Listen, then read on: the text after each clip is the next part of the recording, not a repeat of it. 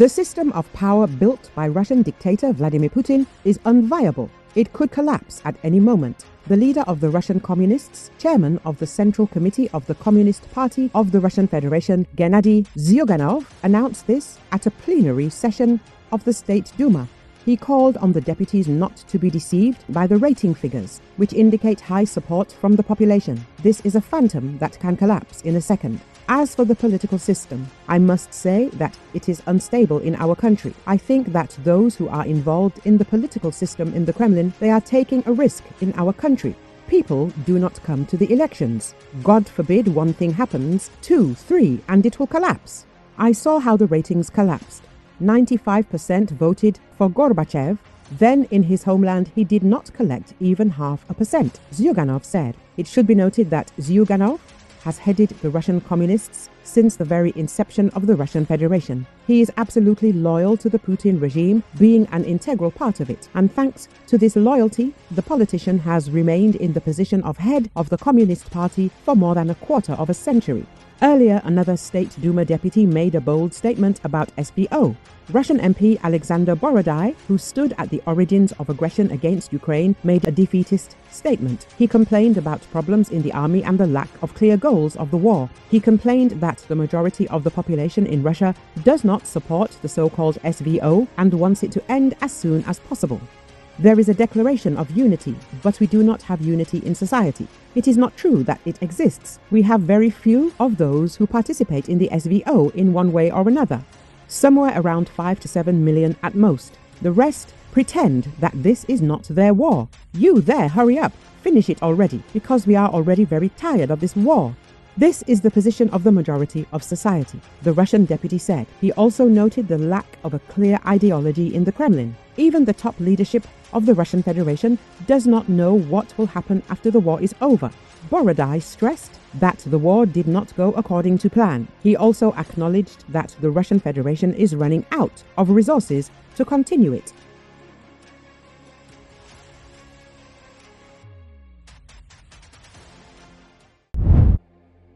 The United States is committed to making sure that every dollar we have at our disposal will be sent to Ukraine by January 20th, Secretary of State Antony Blinken told journalists on Wednesday during a visit to the NATO headquarters in Brussels. Concerns about the US's ongoing commitment to supporting Ukraine, and to NATO more broadly, have been swirling since Donald Trump won the presidential election last week. Trump, with varying degrees of consistency, has been critical of NATO and support for Ukraine and Taiwan, two democracies under threat that depend on U.S. military support to counter Russia and China. He has shown little interest in the long-standing U.S. role as anchor of strategic alliances with European and Indo-Pacific democracies.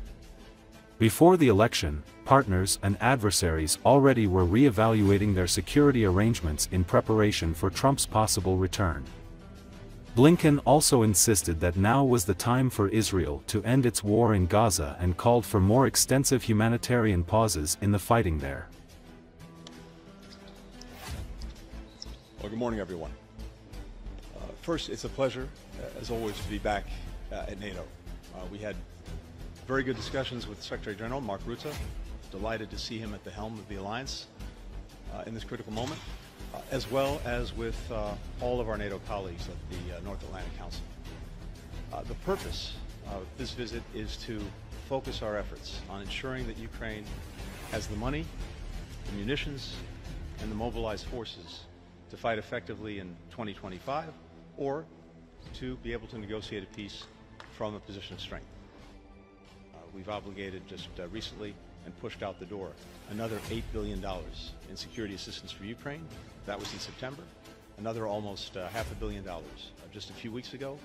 And President Biden is committed to making sure that every dollar we have at our disposal will be pushed out the door between now and January 20th. On the Middle East and on Gaza.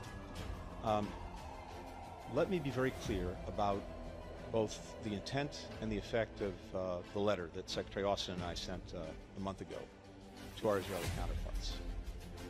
The intent was to inject a sense of urgency with Israel to take necessary steps to address the dire humanitarian situation of children, women, and men uh, in Gaza.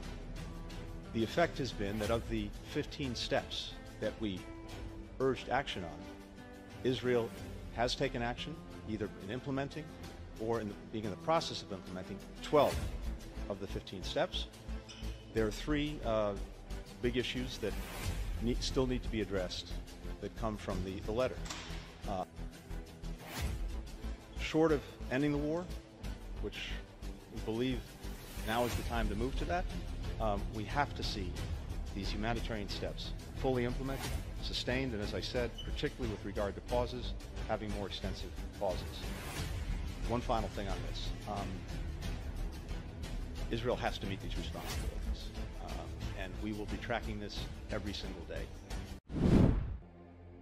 Mexico is facing a second Donald Trump presidency, and few countries can match its experience as a target of Trump's rhetoric.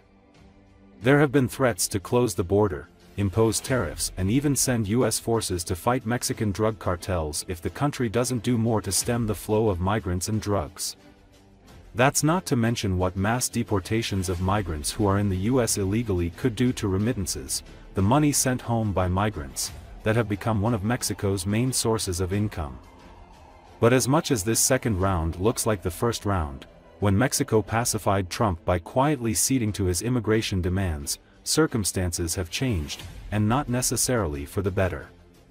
Today, Mexico has in Claudia Sheinbaum a somewhat stern leftist ideologue as president, and Trump is not known for handling such relations well. Back in 2019, Mexico's then-President Andrés Manuel López Obrador was a charismatic, plain-spoken, folksy leader who seemed to understand Trump, because both had a transactional view of politics. You give me what I want, I'll give you what you want. The two went on to form a chummy relationship. But while Lopez Obrador was forged in the give-and-take politics of the often corrupt former ruling party, the Institutional Revolutionary Party, or PRI, Sheinbaum grew up in a family of leftist activists and got her political experience in radical university student movements. Sheinbaum made a point of being one of the first world leaders to call Trump on Thursday to congratulate him after the election, but during the call Trump did two things that may say a lot about how things will go. First, Sheinbaum said, Trump quickly brought up the border to remind her there were issues there. Then he asked Sheinbaum to send his greetings to Lopez Obrador, with whom Trump said he had a very good relationship. That might suggest that Trump believes that Lopez Obrador, the new president's political mentor, is still in charge, a view shared by some analysts. Not everything has changed for the worse, cross-border trade has topped $800 billion per year and U.S. companies are more dependent than ever on Mexican plants.